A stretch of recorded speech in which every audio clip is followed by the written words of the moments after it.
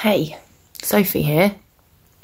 Uh, I just thought I'd do a little update since my last testimonial. Um, it's been about three months since I posted the last one.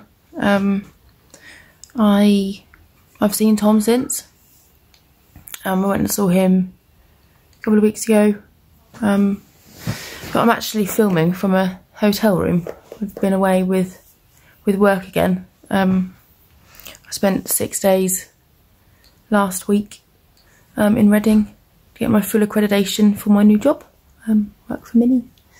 Um, and today we're in Leicester, um, having stayed over last night to um, drive all the new models, which will be fun.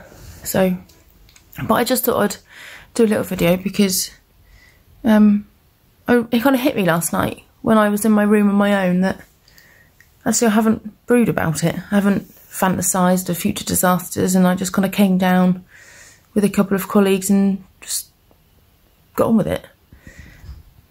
And it kind of hit me that the amount of energy I used to spend brewing and brooding about what could go wrong and is there going to be a toilet in case I need to be sick?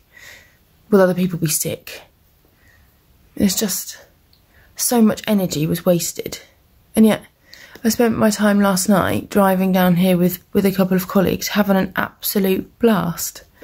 And this is normal. I'm not used to that. But yeah. So now I'm going to go drive some fast cars, which is amazing, and then head home.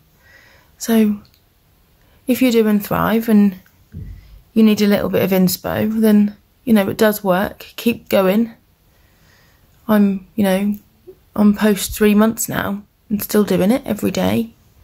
It gets easier. It just becomes a bit normal, like more normal. So keep putting your effort in, keep processing your positives, and it will all be good.